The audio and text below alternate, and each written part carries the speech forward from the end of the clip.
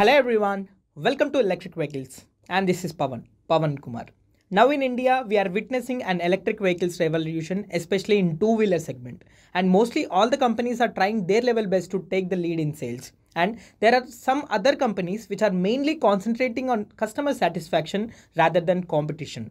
And now in this video, we'll be comparing two electric scooters from two companies in which one company is mainly concentrating on sales and another company is mainly focusing on customer satisfaction. They are Ola S1 which is a leading electric scooter and the second one is TVS iQube S version which is the second scooter of TVS iQube pipeline. Coming to drivetrain comparison for these scooters, Ola S1 has 5.5 kilowatts mid-drive IPM motor which generates 8.5 kilowatts power.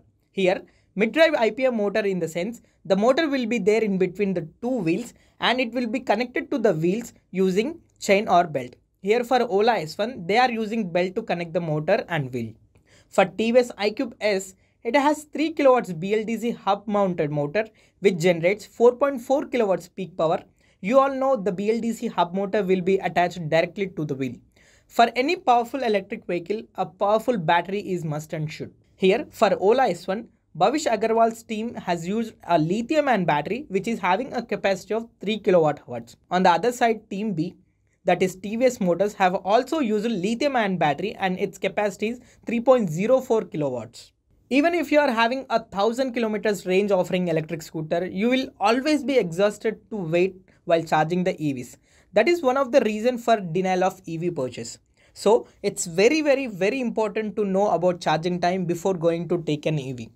To charge Ola S1, it will take 5 hours from 0 to 100% and for TVS iQube S, it will take 4 hours 30 minutes to get charged from 0 to 80% with 650 watts charger. But here you have to remember one thing that is for TVS iQube all models, no charger will come along with the scooter. You have to pay extra for that. And Next, talking about range, you all know how important it is for an EV.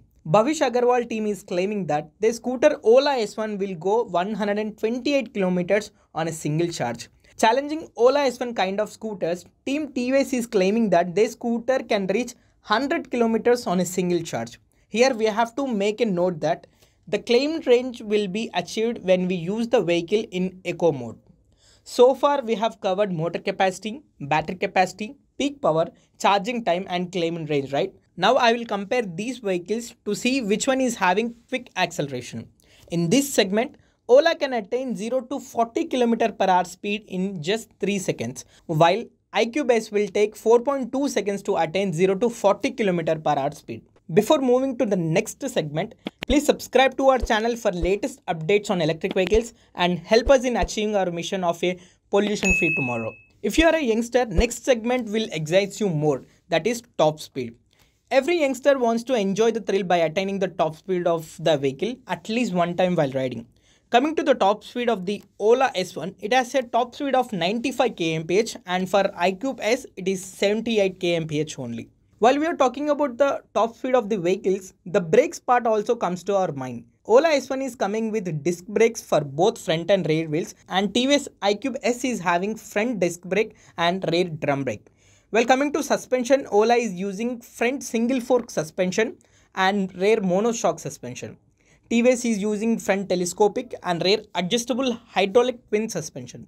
And Ola is having 165 mm ground clearance and a 36 liters boot space. But TVS iQube S has 157 mm ground clearance and 17 liters of boot space. So friends, this is the specificational comparison of the scooters and now I will give you a brief about the features of these scooters. Ola S1 has digital key option, voice control, anti-theft alarm, Bluetooth and Wi-Fi options, GPS navigation control, app connectivity, calling and messaging provision, and also safety features like side stand alert, tamper alert, geofencing alert, and more. And TVS iQube S version has features like parking and reverse assist, turn by turn navigation assist, side stand indicator, Bluetooth and mobile app connectivity, geofencing, anti-theft alert, call accept and reject through HMI, mobile app alerts, and more.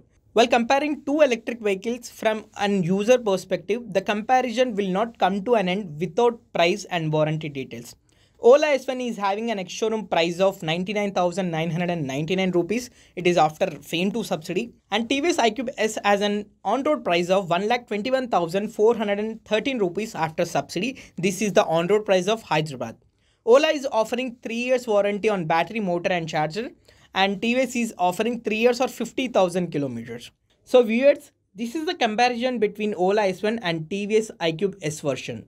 I hope this video has cleared all your doubts regarding these two models and it will be helpful to you in choosing the best vehicle among these two models. And that's all for now guys. If you like our efforts in presenting this video, give it a big thumbs up and also share this video with your friends and family members. And for more such comparison videos, please subscribe to our channel and press the bell icon to get instant notifications whenever we upload the videos.